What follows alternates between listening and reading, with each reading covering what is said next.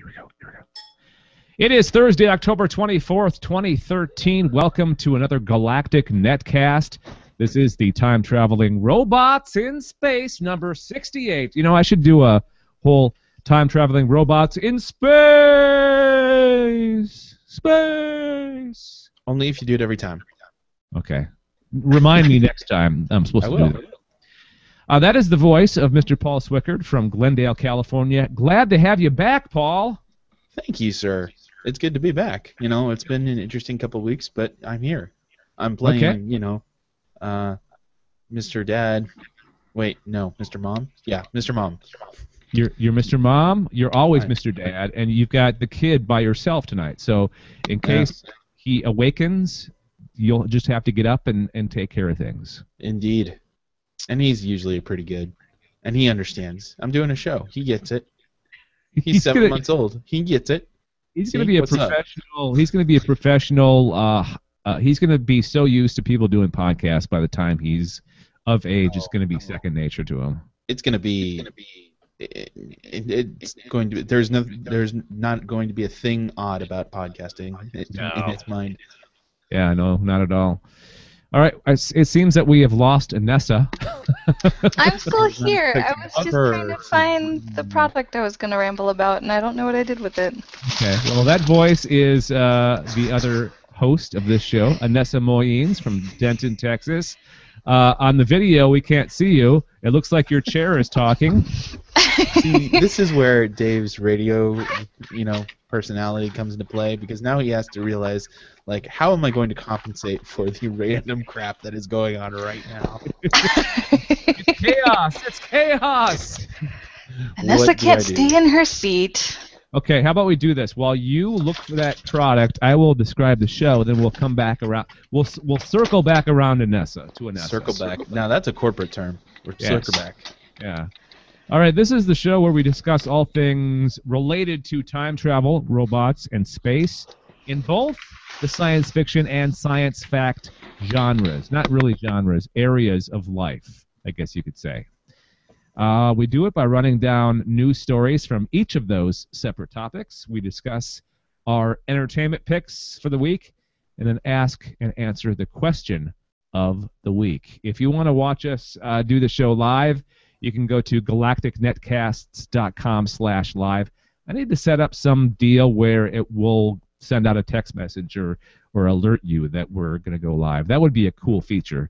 I think well beyond my actual knowledge of making things work. Yes. But it yes. would, it would be cool to have. it would. Uh, our, See, our, You're like a product manager. You're like you're an idea guy. You're like I have no idea how to do it. I just know it'll be awesome. So do it. I, I need some developers. Like uh, d- developers, developers, developers, make it work. Make this thing. You That I want. programmers, coding monkeys, go do. Dance, little monkeys, dance. exactly. Hey, you know our our our um our viewer, one of our viewers, Chris Mm-hmm. Pirillo. Chris, you weren't on that show, were you? you that was the week that you were away. Chris Pirillo was Uh. Chris Pirillo was watching us, Okay. and he commented during the show. Well, good for Chris Pirillo. Yeah, do you know who Chris Pirillo is? No. Okay. Uh, he's kind of a web celebrity. He used to be on Tech TV way back in the day. Um, he's got a big, sound, his name does sound familiar. yeah, he's got a Is huge. Mr. Is Mr. Chris returned? Uh, That is no, correct. That is the question. Oh, say you, No, you no, blew it. yeah, yeah. I think we, I think we, we made him mad or something. I don't know. Anyways, uh, this is the show where we talk about uh, time traveling robots in space, like I just said a few minutes ago. Um, let's get it started, and hopefully, oh, the first story is Paul, so we don't need a Nessa. Nessa, you can keep looking. We I do don't know where it's at. answer. That's. You'd think I'll you'd keep remember. looking though. Well, I took it to re- work because one of my product like coworkers wanted to see it, Uh huh. and so I I'm would- wondering if maybe I just stuck it in my desk and left it there. That's possible. Do you want to describe what you were looking for? Sure. so I was watching some video the other day, and you know the adverts that come before your YouTube video now, where you have to sit through and like after five I seconds do. skip ahead. Well, this one actually caught my attention, and I sat through all two minutes of this video. and it's for a product that's called Poo-Pourri. Poo-Pourri. Poo-Pourri. is it what it sounds like? Yes. If it sounds like something that will make your number two sound smell pretty, then yes, it is Sound what pretty. it sounds like. That's or a smells pretty. I know. no, it smells pretty. Um, so yeah, it's this spray that you get, and you spray the toilet like two or three times, or however many times it says on the directions, and it sprays a layer of film, which I'm gonna guess is probably oil, because it so- stays on top of the water. And so you do this before you go. You sit down, you drop the kids off at the pool, and um, then things smell pretty, and you don't really have to smell your crap. So Literally. Smell your crap. literally. Yes. And it's wonderful though because if you go to the website, I think it's like poopourri.com, um, the names for their different scents are hilarious.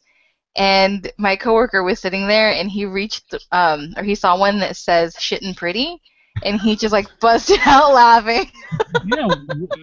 You would be dead inside if you didn't laugh out loud on that. I know. So, um, yeah, they had this opportunity for like a free sample, but you pay for shipping, so it's like two or three dollars for shipping. And so they send like a little tube, and it has like this pretty floral enclosure. If you think of uh, perfume uh, samples, when they have that little booklet that you open, and it's like, oh, smell the roses of whatever. Yep. Um, it's kind of the same thing, and it talks a little bit about the product and whatnot. And apparently, they're a Texas-based company, so they're based here in the Oh. North Texas area. So Power to I'm Texas. buying local. yes. so Buy local. Yes. Local. um, I, not that you guys need to know, I did give it a shot, and it it works. Apparently, we do need to know. Yeah, that's that's that's all the details that we need. We don't need to know anything more. Oh, Dave, do you, you have a didn't need to know what I had for lunch, but yeah, um, no, it it works. So I was actually kind of surprised, and my No, coworker was like, "I want to report say- on this," and I was like, "I don't know how else to tell you this, but I tried Poo-Pourri and it works." Okay. Okay, okay, and I don't mean this to sound crass, but we need to go here because this has been brought up. How bad was it? Or could you tell how bad it No, was? Paul, Paul, we I don't couldn't tell how that. like how bad my crap was. Yes, I couldn't tell. it's a fair question. We're It, talking it about is a poo, fair people. question. It's like, oh man, I totally had like all this Mexican food, Didn't and you all miss me? This is So, the- yes, yes, I missed you, Paul. Um, Uh, But and the, I don't know really, how the purpose bad of it this is to was, make Dave because- uncomfortable. Okay, so yeah, yeah, all like right. I don't know how bad it was because like it was like in and smelling pretty. Okay. So what you need to do, Anessa, is you need to um, do kind of a experiment, like a like a blind sample, like a you need to eat something that you know will give that will give off an odor. Okay. okay. Vanessa, you need to get the stomach flow, and then only then will we be able to figure this out. Yes. Okay. Um, So- is it possible that we can actually talk about the subjects of the podcast? Is that No, we. Is that fair? This is an end, and we need to discuss it. okay? If it Th- comes, this might actually come in handy though. Like, say you're a scientist and you're working long hours with people and you only have the one bathroom. You don't want to leave it smelling crappy for the next person. That's always the awkward moment is when you go and you drop a deuce and then someone walks into the bathroom right after you did and you're like, oh man. I never thought about that. Now they It's need to make they need to make an automatic one where it just uh, you know They the- do. If Oh, they- O'Hare can have these weird automatic changing toilet seat covers, they can totally create sprays to just spray Poo-Pourri automatically. Yes. Yes. It's like you walk into the stall, it's like and you're done. you just drop right. and go. All right. Okay. All right. Now I believe it is time to talk about time travel, robots, and space. Oh, hang on. What the hell? It's really soft. Okay. I don't know. par- Pardon me. Sector 1. Time travel. All right, Paul. That is your story. What do you got for us, sir? This story is about poo, ladies and gentlemen. No. Okay. Uh, you know what, Dave, Anessa, I have fantastic news. We have the world's longest time traveler on record. Actual He's- person traveling through time. That's true. It's absolutely true. Sweet.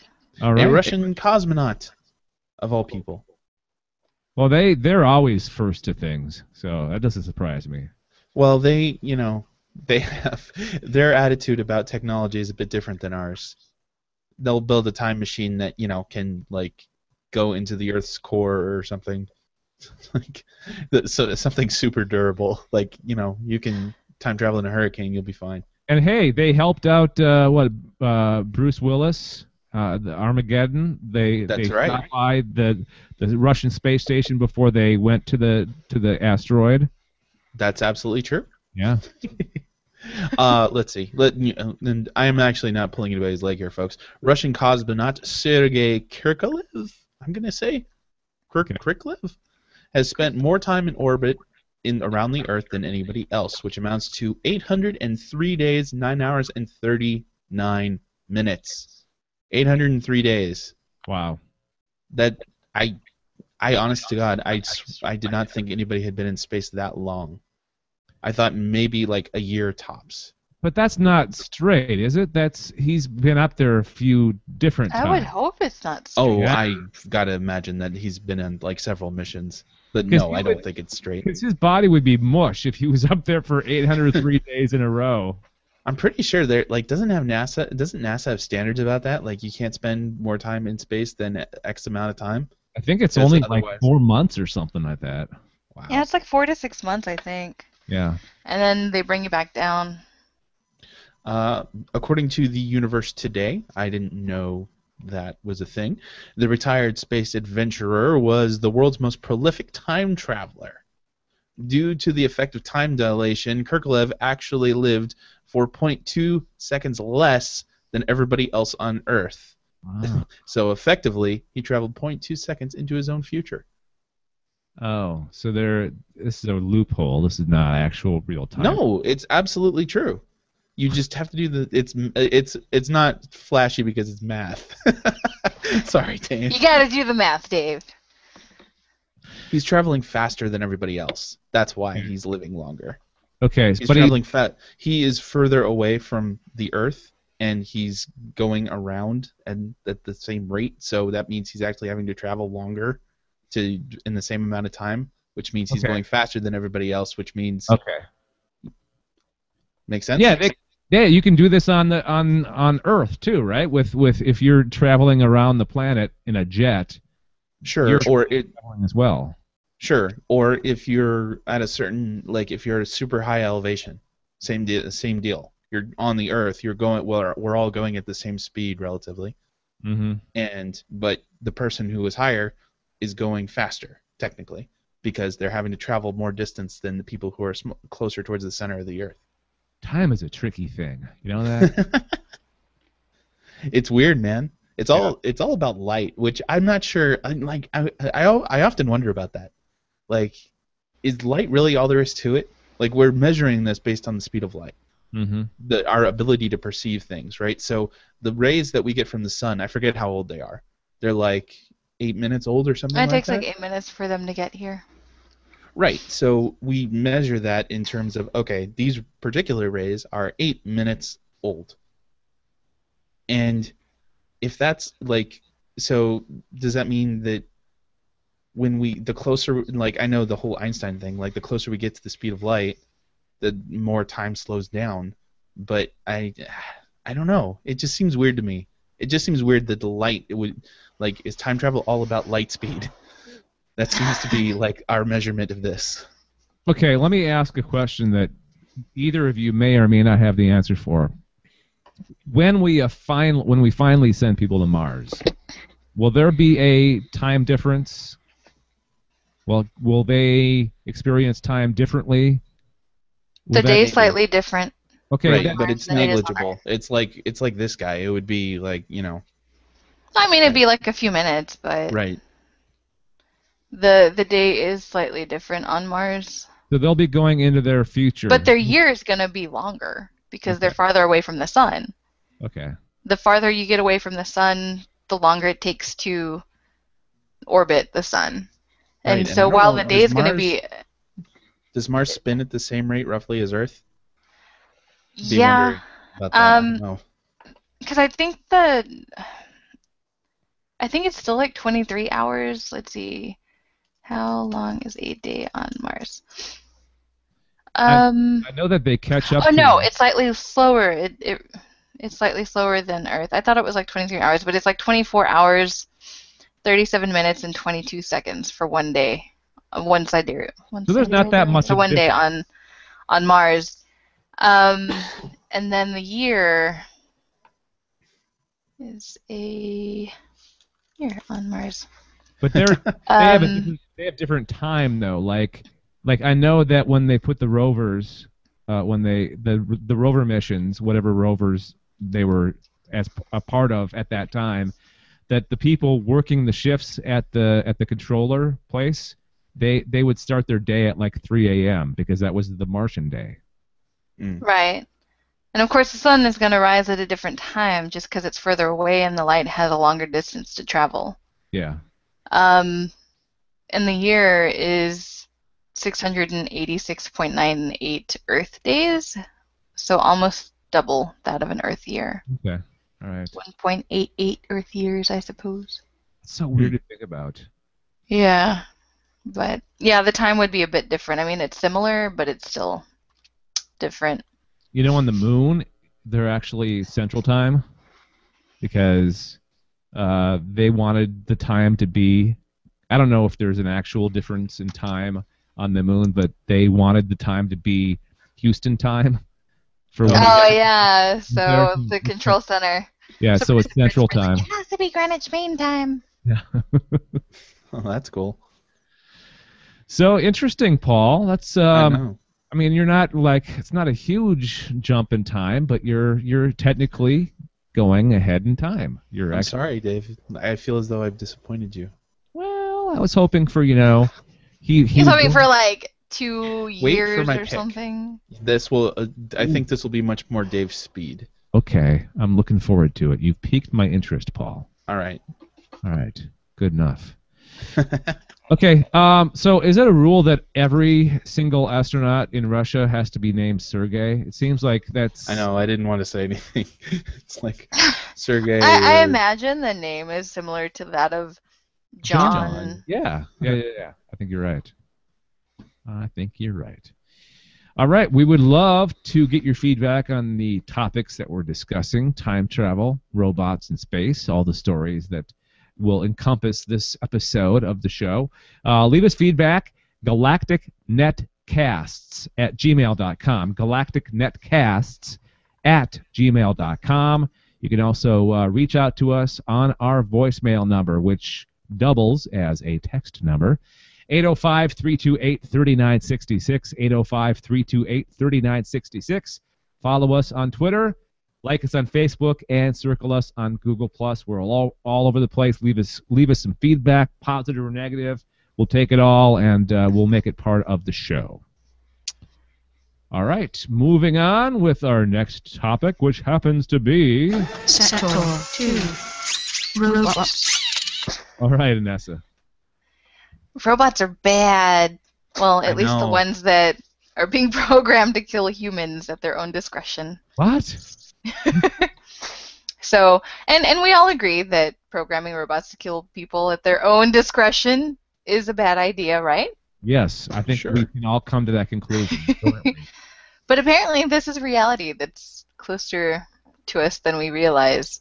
And so, a new FAQ from Human Rights Watch summarizes how close we are to autonomous killing machines and how important it is to ban them, eh, like now, before it's too late. you have to set a precedent, you know? You do. Yeah. So, um, as the uh, HRW, or the Human Rights Watch document explains, while fully autonomous weapons technology does not exist yet, developments in that direction make it a pressing issue. The 2012 U.S. Defense Department Directive on Autonomy mandates keeping humans in the loop for any decision about the, US, the use of lethal force for up to 10 years, or other military documents, however, have indicated a long-term interest in full autonomy. Mm. Um, for example, in 2011, U.S. roadmap specifically for ground systems stated there is an ongoing push to increase UGV, unmanned ground vehicle autonomy, with the current goal of, quote, supervised autonomy, but while an ultimate goal of full autonomy. A U.S. Air Force planning document from 2009 said advances in AI will enable systems to make combat decisions and act within legal and policy constraints without necessarily requiring human input. Oh my god. Dude, Yeah, that sounds like a bad idea. it's coming, Like, folks. very bad. Dun, dun, dun, dun, dun, dun. They're gonna take up arms. They're gonna realize how weak and frail humans are, and they're gonna eradicate us. I don't think that's it. I mean, yes, I think, but I, I'm actually betting that it's going to screw up before then. Like, I think it's just going to be a mistake. It's like, oh, this is an enemy combatant, and then we, you know, they, we try to stop it because no, you're wrong. It's not an enemy combatant, and then we become enemy combatants Yeah. yeah. because we're trying to stop it. Yeah. it's a it's a mistake. See It's that? just yeah. There's a it's a margin for error that's way too wide in this situation. So, and the HRW document does a great job of breaking down why this would be a problem from a humanitarian standpoint. We want decisions about killing a human being to be made by a human being. And autonomous killing machines might make soldiers safer, but put more civilians at risk. Um, but also from an international law standpoint and a general legal standpoint, um, whom do you hold accountable when a robot kills a human? Yeah, that's another. Plus, the bottom line is once a country has robots that can kill on their own, every other country will feel obligated to follow suit or get left behind. So we have a we have a an AI gap. like you, you're like, well, Russia did it, so we have to do it too. And it's before you know it, it's like a world filled with killer robots. Yep. But it's going to be easier because then we don't have to send our sold our our young men off to war. You know. No, we'll just wait for the robots to come and kill us.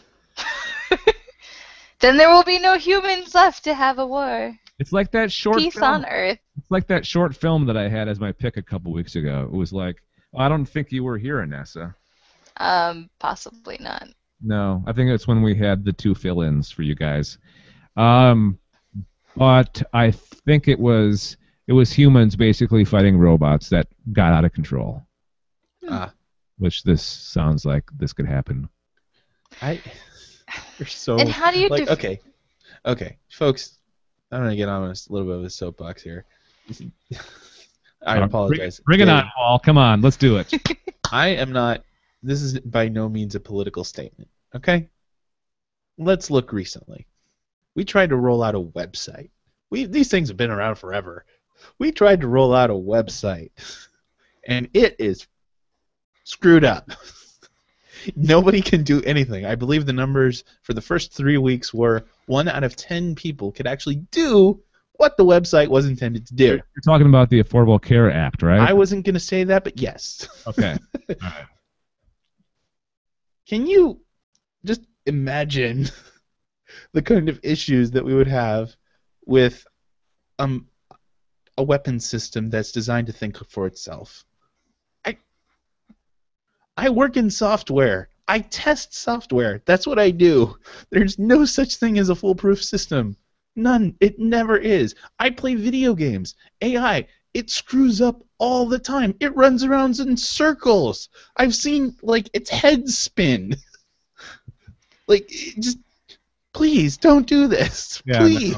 no, no, no. It's if they're gonna do this, it's they've got to test it and retest it, and it's got to be foolproof for for them to launch it fully People have a problem with the Well- drone system as is. Yeah, did you see that story? I think it was the last couple of days about uh, it wasn't the UN. Oh, it was the EU.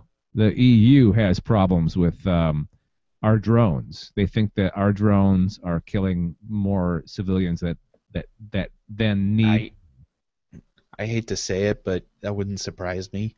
yeah, Just just and that's human. human element, man. That's humans controlling it. Yeah, I know. That's what I'm saying. Oh. Dude, dude, we are going towards this future. This is going to happen in our lifetimes. This needs to sink in. Yeah. And I think I think they're on the right track. They need to they need to uh, uh, super uh, not supervise this. They need to um, regulate this before it actually happens. Uh, yes, yes. I, I mean, we need to have rules, much like you know we have the nuclear proliferation rules. hmm Like, and I'm not. I'm. I'm but geez, oh god, there's a scary thought. Can you imagine like a nuclear deterrent based on a robot? Oh, there, there. So we're in war games. Fantastic. And that's. Were you going to say something before and we cut you off? Uh, yeah, but I don't remember what it was. Sorry. Uh, it's okay. Uh, okay, so uh, God, I would love some feedback on this story. If if you're gonna give Oh, us absolutely. feedback on anything, please let us know what you think about this. Do you think it's, um, you think this is a dangerous situation? I think most people would think that as well. I would hope. Mm-hmm. I know, But right? I kind of think it's one of those things that they're not going to do anything until after it's happened. And then it's too late. we are very retroactive people, Mm-hmm. so yeah, I actually I agree with that. Yeah. We won't do anything. We will not make it. it we won't regulate it, especially. We won't like this will not become an issue until it becomes a problem. You know what I mean? Like people Yep. won't start talking about this until it like like oh my god, we accidentally killed blah. This needs to be done by Apple, not Google, because you know how Google just rolls out products. Just go here. I don't. I'm not particularly comfortable with either, but just saying. So I'm just say, I'm just comparing. You know, the people that are behind this need to be more like an Apple and less like Google, because Google will just put out anything. and Go try this, tell us where it's broken, and we'll fix it. they're not going to accidentally kill somebody or purposefully kill somebody. Yeah. All right. That's So, true. I'm officially scared. You guys ready to move on? yeah. You scared- Yes. Are you scared enough? It's a good Halloween story. Yeah, it is. kinda. Killer was robots. Halloween. Maybe we should change the name of the podcast to "Time Traveling Killer Robots from Outer Space." Nice. Yeah, I mean, put a little That egg in it. Okay, so uh, let's change subject real quick and uh, thank our sponsor of the Time Traveling Robots in Space, Ooh. Audible.com. yay. For you, the Galactic Netcast listeners, Audible is offering a free audio book. Audible is an audiobook service, and you just download them to your device and listen at your heart's content. Uh, they're offering you a free download with a free 30-day trial to give you the chance to check out, to test run their service, and to go along with the theme of this here podcast. May we suggest Dr. Wasserman's Time Chamber, Time Chamber, Preventing Armageddon. That's the name of the book. So here is a brief synopsis. Atlantic City, 1992. Dan Gross- Grossman comes across a story that sounds incredible. Did the South really win the Civil War? Did a lone, did a lone physicist really go back in time to prevent Armageddon, or is it just the delusional dream of a, of a, an acknowledged schizophrenic? So, uh, the Confederate States of America, 1863, Dr. Carl Miller has only 10 weeks in order to find the only person he believes capable of altering his history, the niece of General Robert E. Lee. He must convince her that the South needs to lose the war and that her uncle is the key to preventing the death of millions. Dr. Miller has accounted for everything in his plan to change the world except falling in love with the woman he must turn traitor. so it's a love story, too. Interesting. Okay. Uh, to save the future, he must detr- destroy the past and his only chance at happiness. So uh, try that book out for size if you would like, or any other book for free. You get one free download with your 30-day trial of uh, of Audible.com, and we thank them for their support of the time traveling robots in space. Oh, I forgot the URL. If you're going to try it out, go to audibletrial.com slash galactic netcasts. That's audibletrial.com slash galactic netcasts. All right, let's move on to space, and that is this right here. Sector 3. Space. All right, so Japan has a space cannon. A space cannon. I'm gonna let that sink in for a second. Japan has a space cannon. Like a cannon that shoots people out into space? I don't think so. Oh. Let's in, let's investigate this a little bit more. A unique space cannon developed for Japan's Hayabusa 2 spacecraft has successfully test fired on Earth in preparation for a 2014 mission.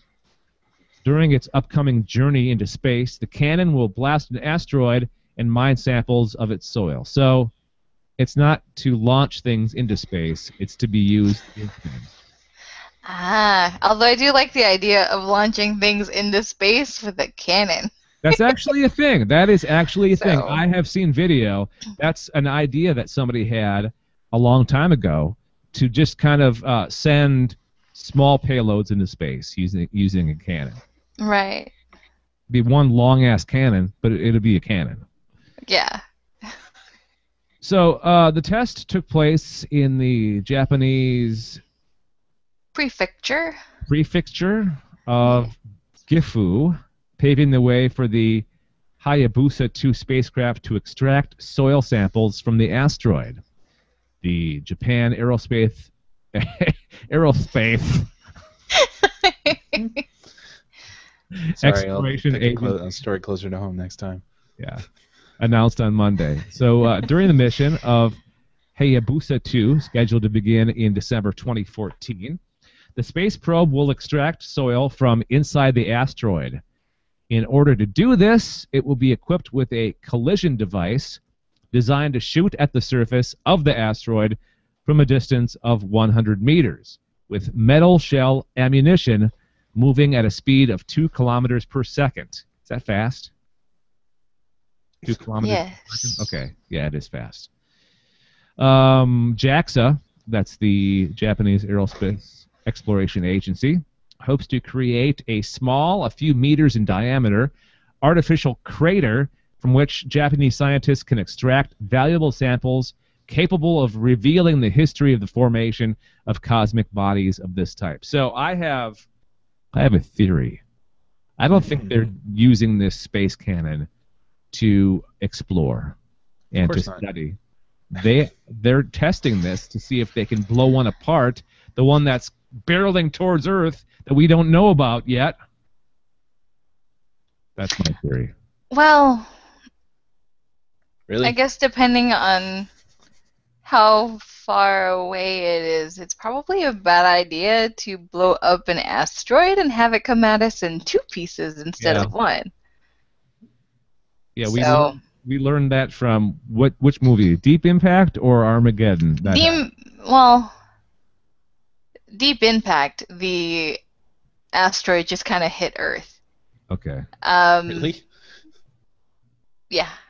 Oh. and then I didn't was see it Deep coming. Impact? Yeah, because what Morgan was the other movie? It was Morgan Freeman. You, you know, and the waters were seated. That guy. Right. Yeah. And I, then I never saw it. I just, Armageddon. Oh, and then Armageddon. Well, that's why they called it Deep Impact because it just hit Earth. Um, and and then Armageddon, they actually went up there and like drilled and like blasted and then like showered Earth with like a bunch of little pieces and remember that. So That was the only difference between those two movies is one hit Earth and one didn't. right. Yeah. But the one that hit Earth, I don't think they really did anything to stop it. Did don't they? know. I thought they went It's been so long So since I've been mode since I've seen like, it. oh my god, oh my god, oh my god, and we're dead. They just watched it come. They didn't do Yeah. anything about it. well, you have to think to like get something up there. If you notice it in such a short amount of time and actually do anything that would be effective, hmm Right. would be but- really hard to do. I mean, you it's not something that you want to blow up because then rather than having one big big object barreling towards Earth, you have a bunch of little objects that can cause a ton of damage as well. Um, and like the little objects are still going to be huge chunks of this thing. Anessa, Um, we're talking about a movie. I know it's Hollywood, I'm just saying. but it started because of the space cannon. And Dave's idea that it was gonna come barreling towards Earth and we don't know it, so they're gonna blow up it, blow it up into pieces just- to cause that- even more trouble. That's my conspiracy theorist mind. at So- Now, if they were using the space cannon to like somehow push it off of its course towards Earth, then I could see that totally being a thing. That seems to be the best route to go.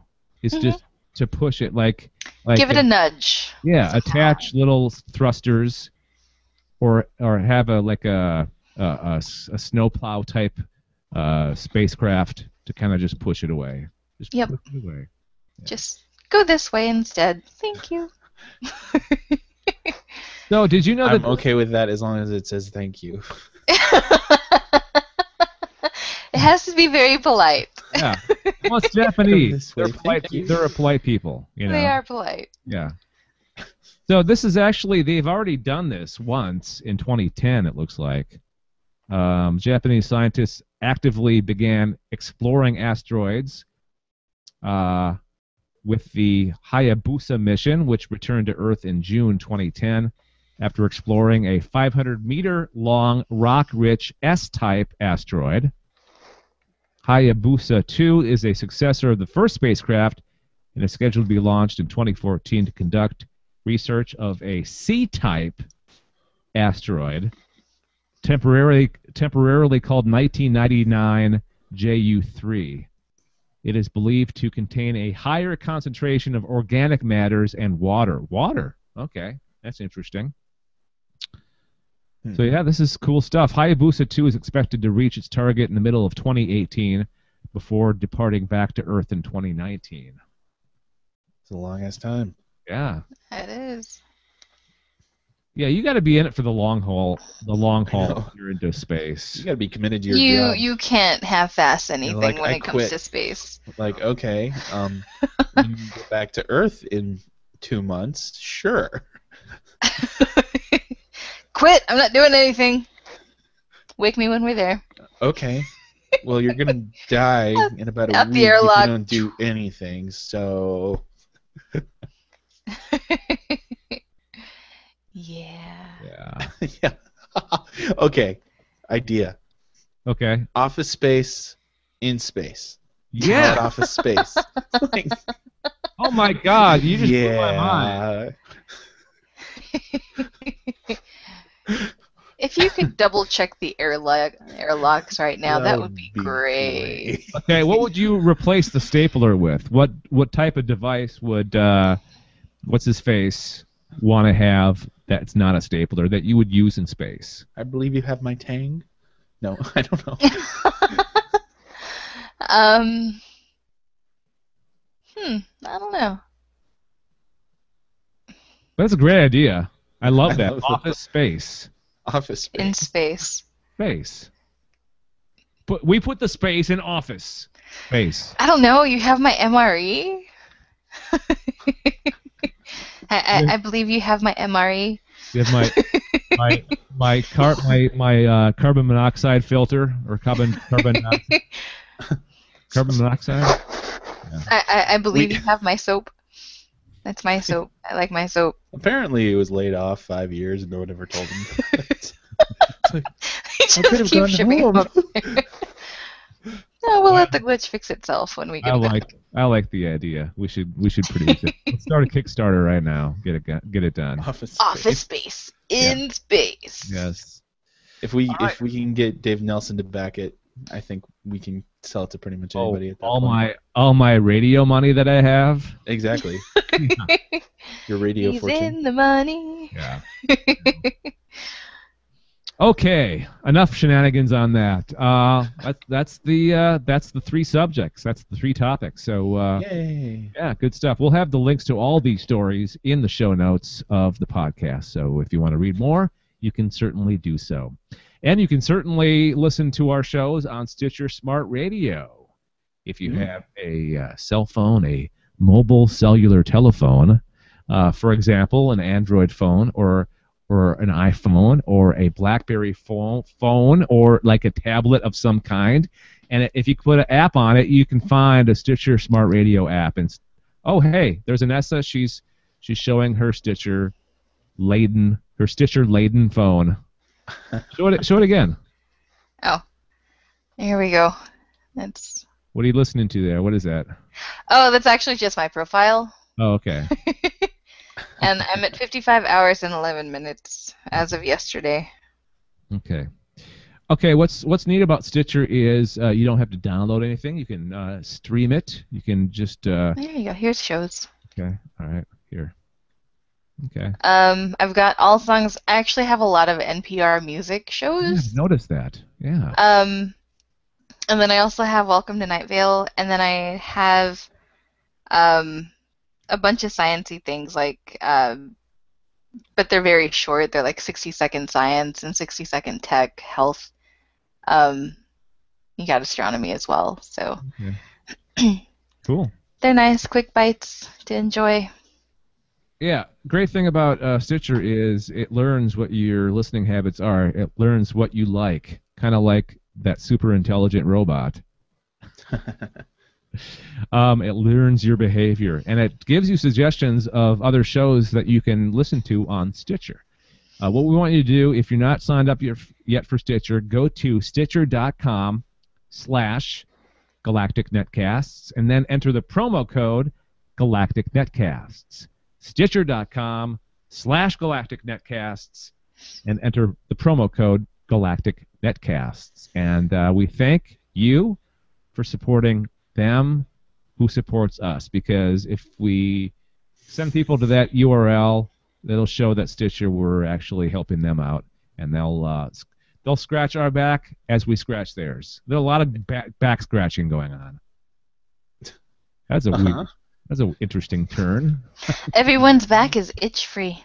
Yeah. I know, right? Apparently everyone's back is itchy. All right, there you go. Uh, thanks, Stitcher.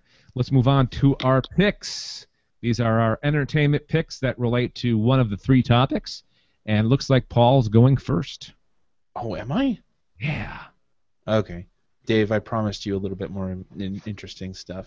This is a bit more up Dave's alley, so Yes. I apologize. Um, I am recommending an article from IO9. Now, normally we would just tell you articles, but I can I liked both stories, so I picked the one that I picked the shorter one because this one this other one is a bit too long. But hey, um, so there's a lot of really weird stuff that's happened in history that has led people to believe that time travel exists, and they're they what they've done is they've compiled a list of what those things are and what is strange about them.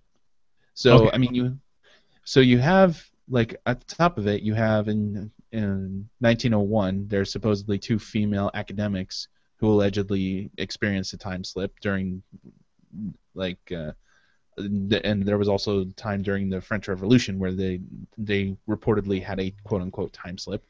Uh, but the first quote unquote real one was in 1928 and was really only spotted in 2010. Okay. So this is no okay. So let me back up. There's an old film, Charlie Chaplin film, called The Circus in 1928. In that film, somebody spotted the fact that that there's a, a gentleman on the film who looks an awful lot like he's talking on a phone. a cell phone. Right, and that which did not obviously did not exist. So if you watch it, it's a little creepy. It's like you're like, okay, he looks like he's Oh, talking yeah. to somebody. He's like in the black has jacket and something he's up got against something up his against head. his ear. would and nobody does that. Like there was no reason for people to do that, so it's kind of like makes you scratch your head. You're like, huh. It, a lot of this is just plain weird. Can I can I play devil's advocate for a second? Please, If he's on a cell phone in 1928, how is he getting service? he's providing the service. How's he? How's he? Who's he talking to? I have no idea. Maybe it's a special time travel phone. Maybe no it's idea. the doctor. Uh, a same a similar thing happened in 1938 in Massachusetts. Again, a woman is, and this one's even clearer. It, I looks a lot like she's talking on a phone. Why would she talk on a phone? Like, wh- what is she doing? Who knows? Maybe it's maybe me. it's the same person and they're traveling through time. I don't know. They changed genders. Oh, oh, oh, okay. Right. Okay. So 1928, 1936. Gotcha. Yeah. And I mean this, and then I mean I could go on. One of the things that this gets kind of weird. Uh, in 1935, while still a wing commander, he was sent to inspect a disused airfield near Edinburgh, called a place in a place called Durham or Drem. hmm Uh, he found it in a very dilapidated state with cattle grazing on the grass and had forced like in that had for, w- grass that had forced its way through the cracks on the tarmac.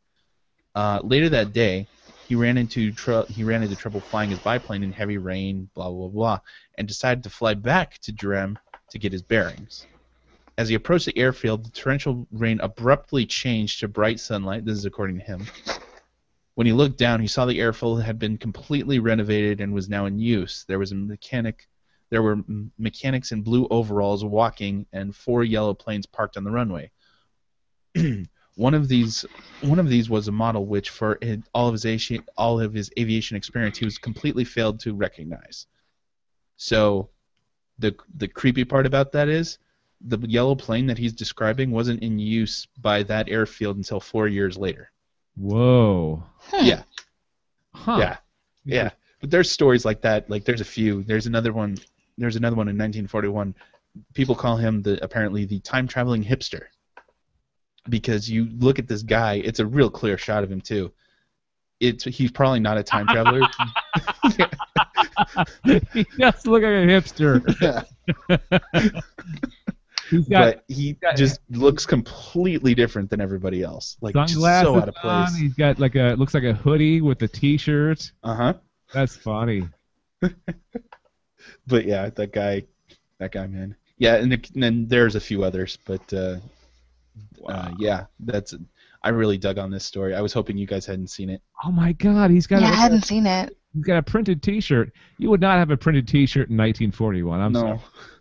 I love his hair. The hair really makes it. It's just like the hair and the sunglasses. It's just like oh. Yeah.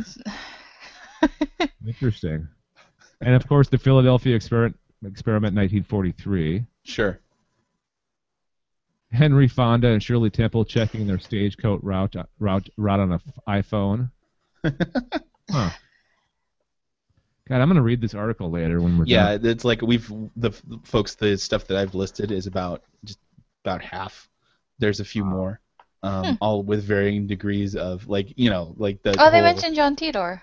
the uh, the Henry Fonda Shirley Temple one is like no, of course he's not looking at a phone. It just looks like he's looking at a phone. But some of these are like just kind of plain weird. Yeah. I I love the hipster. That's, that's he was a hipster before hipsters were cool. yeah. He was a hipster before hipsters were even around. before they existed. Yeah. All right. It's like cool. the ultimate hipster. Good stuff, Paul. Cool. I'm gonna have to read that article later. all right. Is that it? Is that all you want to say? yeah, yeah, that's that's my pick. Okay. Cool.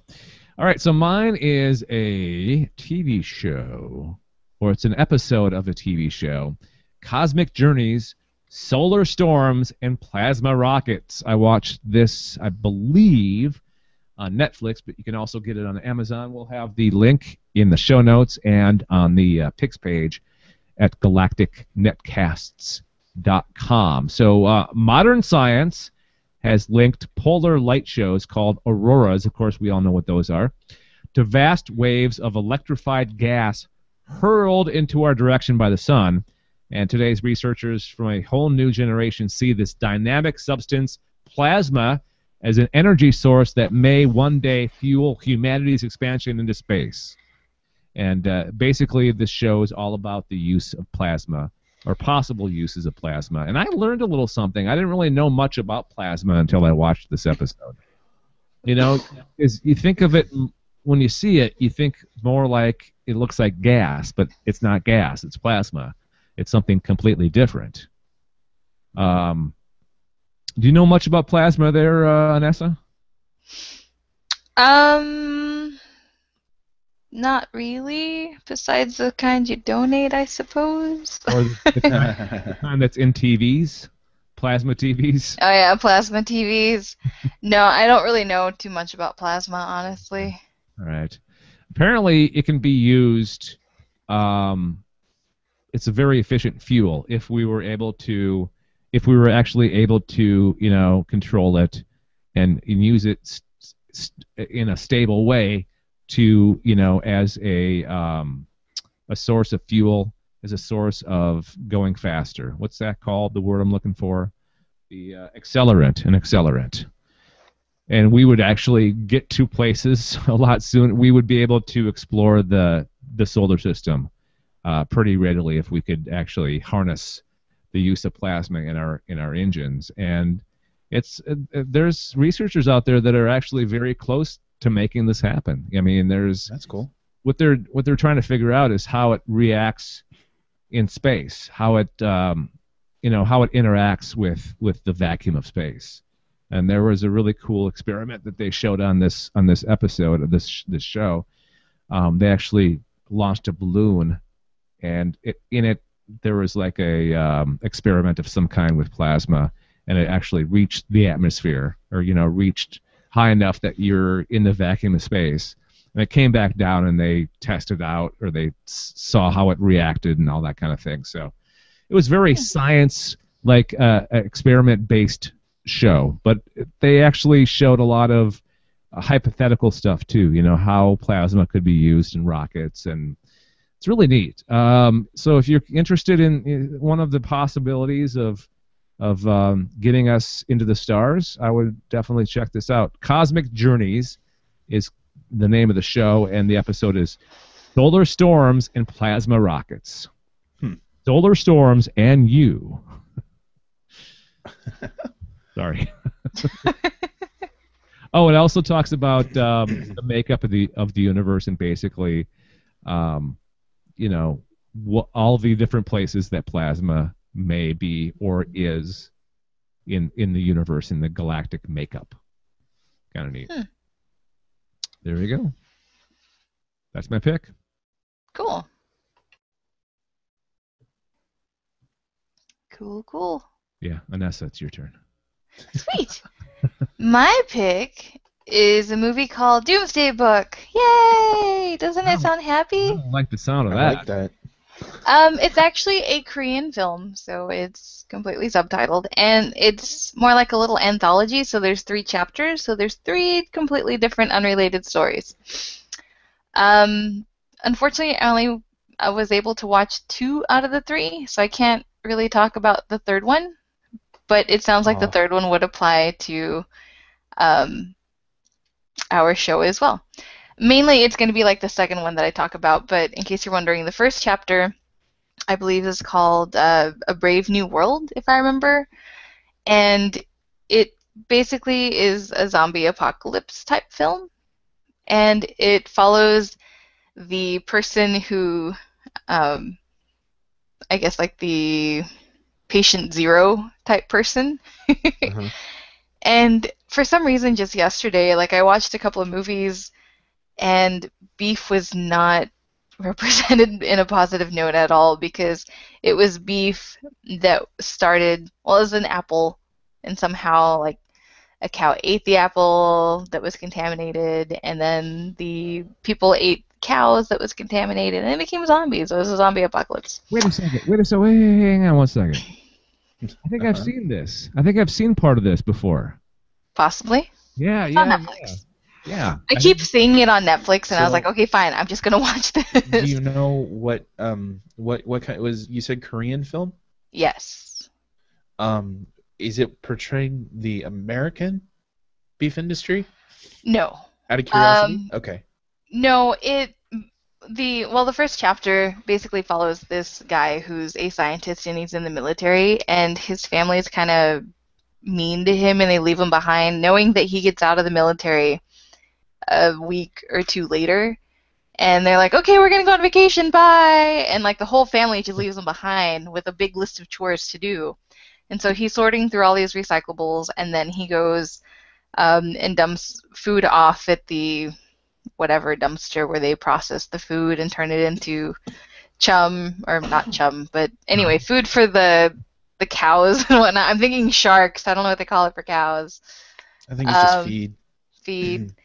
so they create like this feed for the cows and whatnot, and um, the cows eat it. And uh, you know, the cows eventually get slaughtered and put on the plate, and the guy ends up eating this beef when he goes out on a on his first date with some girl at some Korean barbecue place. And so you have like the grill in front of them and you've got the slabs of beef like cooking.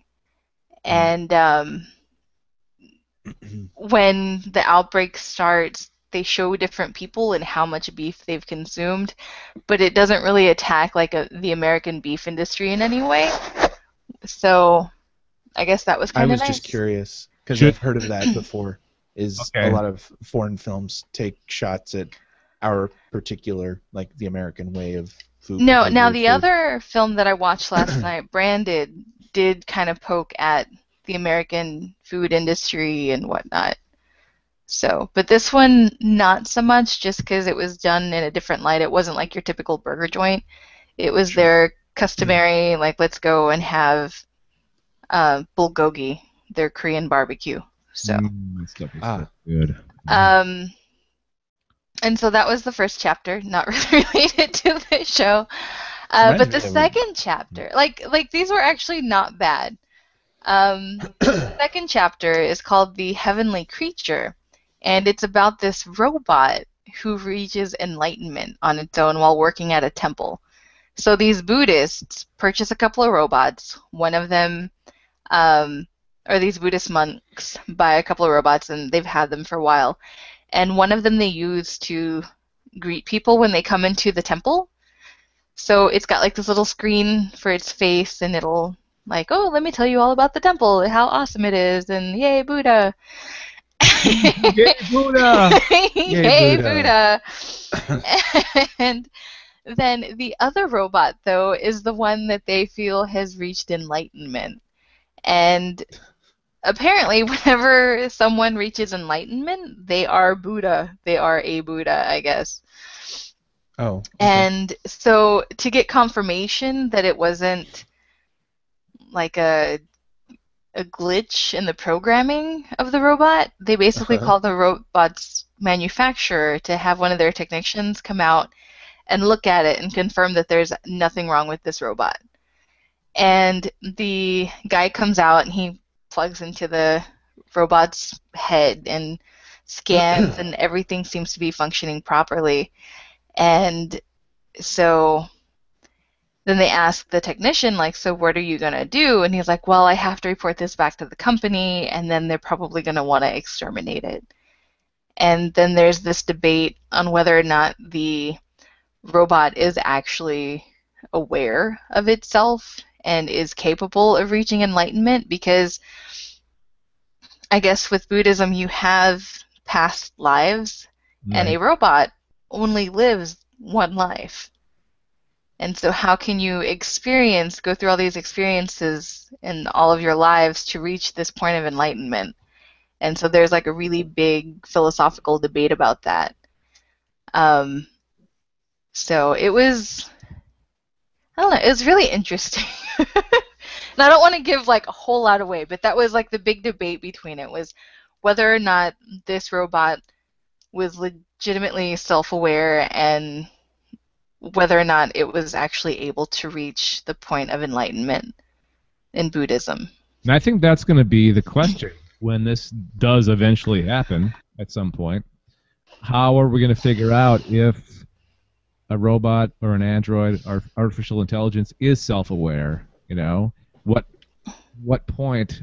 At what point do, do they become sentient? You know? Yeah, at, at one point, and how can we determine that point that they actually become sentient and they have their own intelligence and whatnot? Um, and so that was like the big point of this segment. Um, but yeah, it was it was really interesting. It gave you something to think about. Um, and then the third segment, which unfortunately I haven't had a chance to watch, I started watching it, but it was kind of late and I was really tired. I'm like, if I keep watching it, I'm just gonna get sucked in, and I'm not gonna go to bed till like one o'clock in the morning. so I was like, no, I'm turning it off.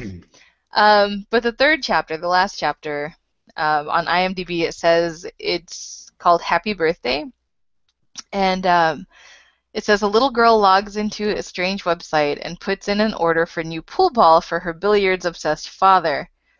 Um, and I do remember at the beginning of this story that the little girl sitting at the computer in her uncle's room and she's clicking through the computer and whatnot. And the mother is asking if she's seen like her father's eight ball. And she reaches for the eight ball, which is by the computer, and she throws it out the window, which I don't know why. she, she just like Uh, chunks it out the window, like, nope, I haven't seen anything. and so I'm pretty sure this is why she was putting in a new order for the eight ball. Um, but shortly after, an unidentified meteor heads towards Earth, and all human beings flee to underground bomb shelters. So that part I didn't get to see, but I didn't really understand why she was chunking this eight ball out the window. But yeah, I'll have to actually watch that, and maybe it can be like, hey, I recommend the last part. Yeah, I've seen this, I've seen this as well. Uh, I don't I don't remember why I started watching it. Maybe I was like you and I saw it so much on Netflix. Yeah, I kept seeing it pop up on Q and recommended Vanessa Doomsday book. Okay, fine. I will finally watch your recommendation. whatever Netflix. fine. You can't tell me what to do. Play. I'm I have self I have uh, so, yeah, like I recommend if you don't mind the subtitle thing, giving it a watch. So, especially like I really enjoyed the middle one because it makes you think. Like, at what point does a robot become Right. sentient? So, that we may have to uh, cross that bridge someday. You know, yeah. maybe we'll look we'll look back at um, Doomsday as a, as a source source material. Well, because you know, a lot of sci-fi predicts future technologies and whatnot. I know. So, Look, It's look very the- possible. at the Star Trek communicator, you know, and uh, Yeah. kind of. All right, there we go. Um, if you like our picks, if you'd like to uh, experience our picks as well, you can go to the picks page at galacticnetcast.com. That's another way that you can help support the network, help fund us, and as and and help us um, continue doing what we're doing. I mean, we'll do it no matter what, but you know, a little something for the effort is nice too. So. All right, so uh, there you go. Uh, we got one more piece of this, actually two more pieces of business. We have to ask the question of the week. And um, Paul, what is it? You you prepped the show this week, so you have to ask the question. Excuse me. Absolutely. This question might sound a little weird, but hear me out. Uh, if you were given the power to time travel, but each time you had to jump through time, you ended up 10 feet above or on the 10 feet, 10 feet above the ground where your destination was, only eventually to fall, would you do it? And why? He is not that far up. Yeah, Okay. right. So it wouldn't kill you, but it would no, probably hurt. but it's enough to either hurt or injure you. right. So and- gotta consider, like, you, maybe you'll fall on pillows. Maybe you'll. Or you could fall on boulders. right. Whatever. Or lava rock. yeah. yeah, it's a gamble, isn't it? So you really don't know unless you knew about the history of that location at the time that you were going to it. Yeah. What, So do we know where we're go or how far ahead in time are we going? That we're going? Yeah, you pick the destination. Okay. Well, that's the thing, though, because you'd have to at least have a general idea. Like, okay, so I'm going back to this area a hundred years. There were still people living here, so things like the terrain probably wasn't that bad. But then if you go back a few hundred thousand years or something, like who knows? Um, Or the other way too. Going or to the other way. So you never really know. Like you could end up dropping 10 feet into the middle of a rail line that was built like 20 years down the road, and it's like, bam, train, you're done. Yeah, what are the chances? What are the chances of that happening? Oh my god. that That'd would be be my luck. Um, You get dropped. You, no, no, this doesn't happen. That's pretty You go to the future. Just like, In the, in the future is all trains. It's like train world. it's all trains, all trains everywhere. At least people finally decided to embrace public transportation Yeah, and yeah. use trains. Yep. Sucks for the guy that's time traveling to that time period, though. right? Um, that's a really good question. I'm gonna say Um, yes. I'm gonna say yes. I'm I'm gonna I'm gonna bite the bullet and take my chances. You would you would do it. You'd roll them dice. Yes. All right. All right. That's I would probably be really unlucky rolling that dice. I would be the person that fell 10 feet and then got like whacked off by a train. Like, bam! and I'm done. Um. Yeah, I probably wouldn't just falling 10 feet because you never know what the train is. Depending on how you land, you could break something, sprain something. Well, here's what you do, Anessa. You put like some kind of um, I mean, don't I know, could put padding on, but just Yeah, depends on how padding. you land, though. or like a little mini parachute that pops out.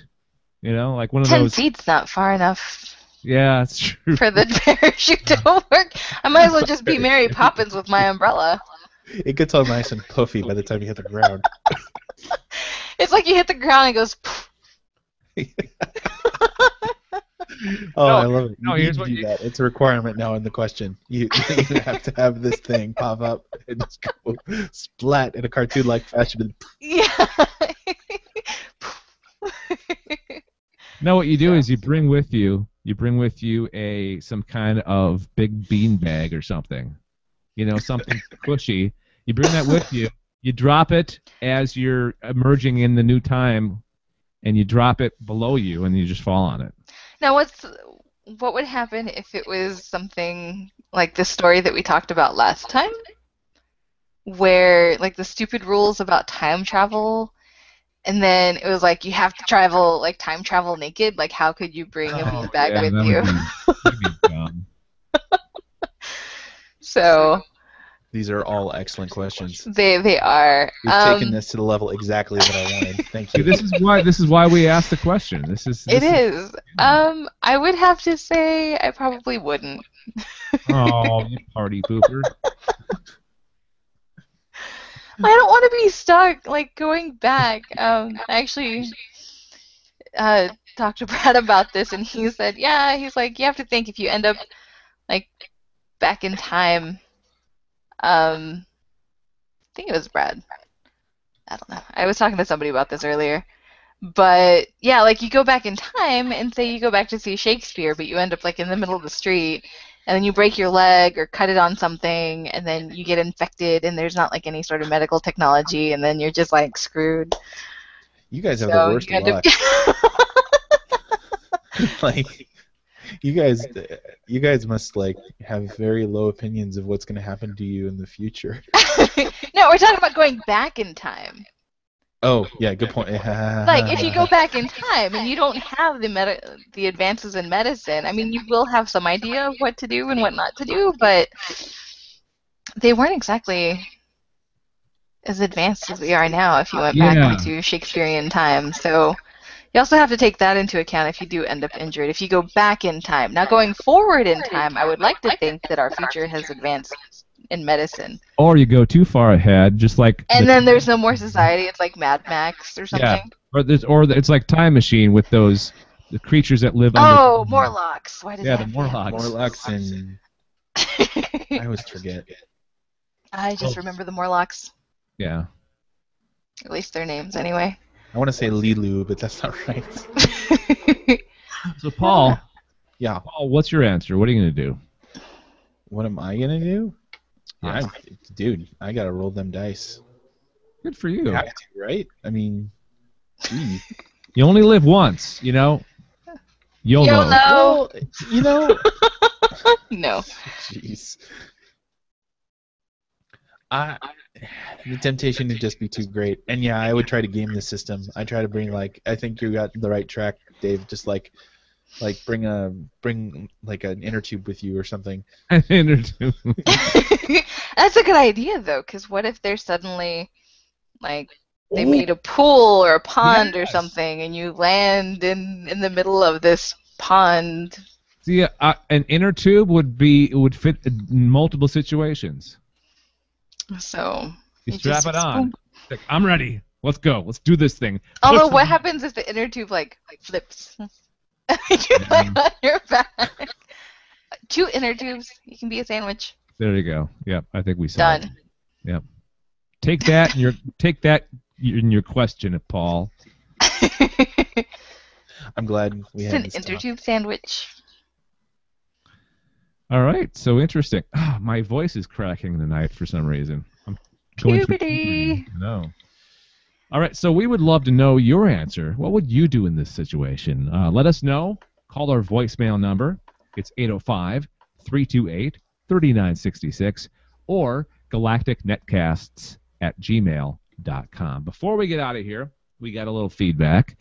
Um, Ah, we have some emails that we had w- that we got last week. We actually included these on uh, Alien Invasion last week, but we'll, we'll repeat them here because we're not really sure if they listened to one show or the other. It's just g- Okay. general general feedback. So, first one Well, is one of them actually specifies that they listened to both. Okay. Yeah, yeah, yeah. You're right. Okay. So, uh, hey guys, Jeff from California. Love the show a lot. I mean, a lot. Like a lot. But oh, thanks, Jeff. please, please, way less Doctor Who talk. Dave, Uh, I can I can promise you that I did not send an email under a surname.